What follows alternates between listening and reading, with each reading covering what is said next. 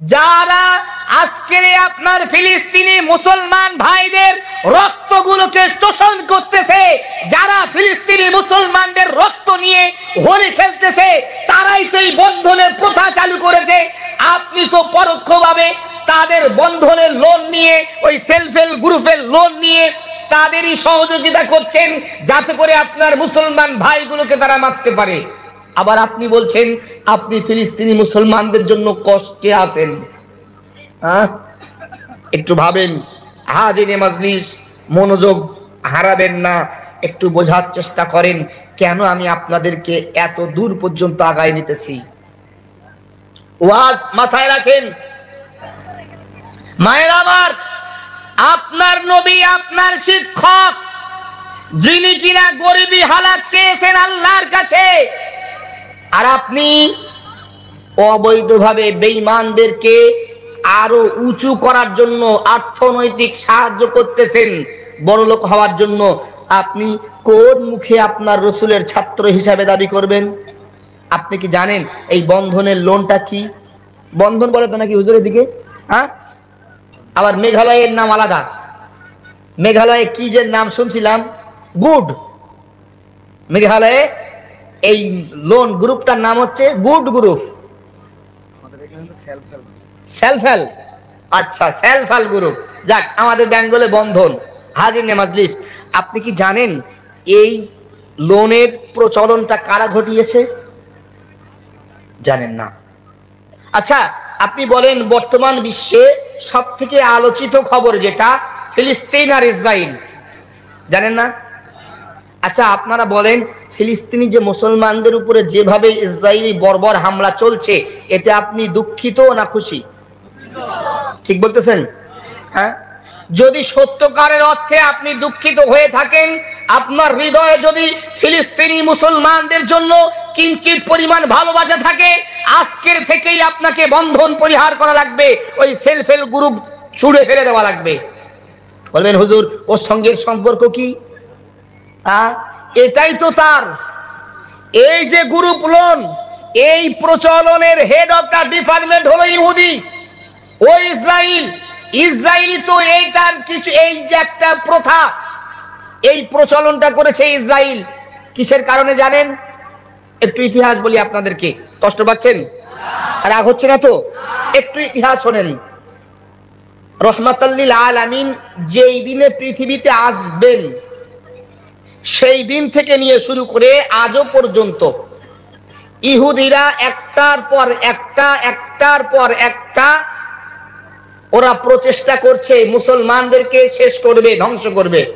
যদিও পারেনি, কেয়ামত পর্যন্ত পারবে না।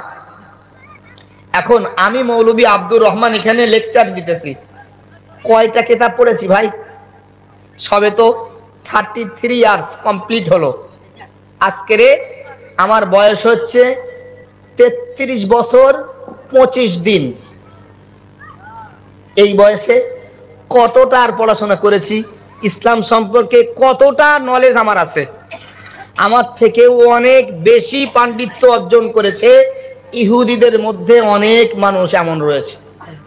তারা ইসলামকে নিয়ে গবেষণা করে, ইসলামকে নিয়ে ভালো করে স্টাডি করে। কেন?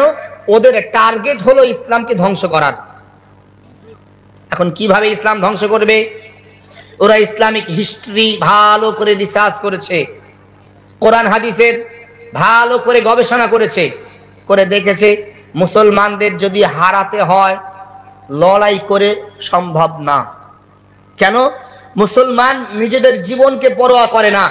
আল্লাহর জন্য জীবন কোরবানি করতেও দ্বিধাবোধ করবে না, যার জ্বলন্ত প্রমাণ ফিলিস্তিন। কথা বুঝতেছেন না? আল্লাহর জন্য ছোট্ট ছোট্ট ছোট্ট ছোট্ট সন্তান, বাচ্চা বাচ্চা, ছেলে, মেয়েরা, তারাও নিজেদের জীবন কুরবান করতেছে, শুধুমাত্র আমাদের প্রথম কেবলা মসজিদে আকসাকে রক্ষা করার জন্য। সুবহানাল্লাহ বলতে পারেন না? সেই জাত, ওরা বুঝেছে, এদের সঙ্গে লড়াই করে জেতা যাবে না। বাহাদুর ইসরায়েল ইসরায়েলের প্রধানমন্ত্রী বেনিয়ামিন নেতানিয়াহু ভেবেছিল অতি সহজেই আমি হামাসকে ধ্বংস করে দেব। এখন নিউজ দেখেন, পিছাচ্ছে, পালাতে পথ পায় না। ইসরায়েলদের ধর্মযাজক যারা, ধর্মগুরু যারা, তারা তো বলতেছে যে মুসা হারুনের রব আমাদের থেকে মুখ ফিরিয়ে নিয়েছে। হামাসরা অলৌকিক শক্তি পাচ্ছে বলেন আল্লাহ আনলে গোটা বিশ্বের মধ্যে সব থেকে শক্তি ধর্দেশ বাহাদুর আমেরিকা আর তার মিত্র ইসরায়েল সামান্য ছোট্ট ছোট্ট একটা করে রকেট বা ছোট্ট মিসাইল, তাই দিয়ে ইসরায়েলি বড় বড় ট্যাঙ্কগুলো ধ্বংস হয় কীভাবে? কথা বুঝতেছেন না? এখন ইসরায়েল উঠে পড়ে লেগেছে যুদ্ধ কীভাবে বিরতি ঘোষণা করা যায়? হামাজদের সঙ্গে দফায় দফায় বৈঠক করতেছে। হামাজ বলে ওই ক্ষণেকের বিরতি আমরা চাই না। পুরোপুরি যুদ্ধ শেষ করা লাগবে। টোটালি ইসরায়েল যেন ফিলিস্তিনের উপরে আর কোন প্রকার জুলুম করতে না পারে, তবে আমরা জিম্মি মুক্তি দেবো, অন্যথায় না। এরা তো হাজার চেষ্টা করেছে। হাজার হাজার সৈন্য শেষ। আজকের নিউজ দেখতেছিলাম।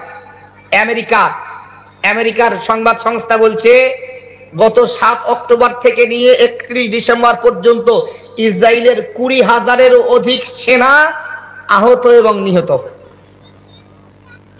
চারদিগুনি ব্যাপার।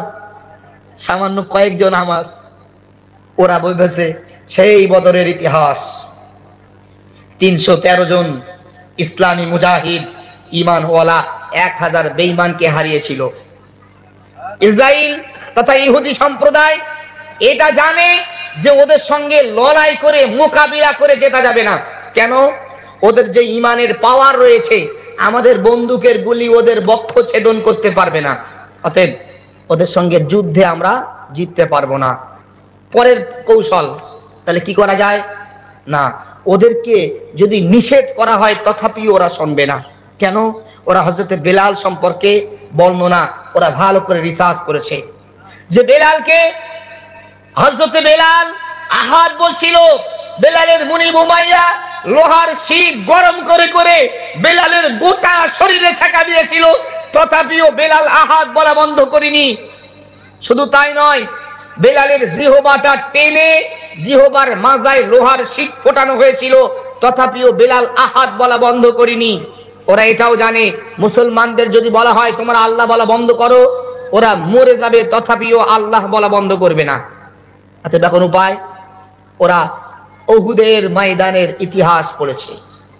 অহুদের যুদ্ধ। ওলামা হাজরত যারা রয়েছেন, খুব ভালো বুঝতেছেন। অহুদের যুদ্ধ থেকে আল্লাহর নবী মোনাফেকদেরকে চিহ্নিত করতে সক্ষম হয়েছিলেন। এক হাজার সৈন্য নিয়ে নবী আমার যুদ্ধের দিকে রওনা দিয়েছেন। স্বয়ং রসুল্লাহ নিজে অহুদের ময়দানের সেনাপতির দায়িত্ব পালন করেছিলেন।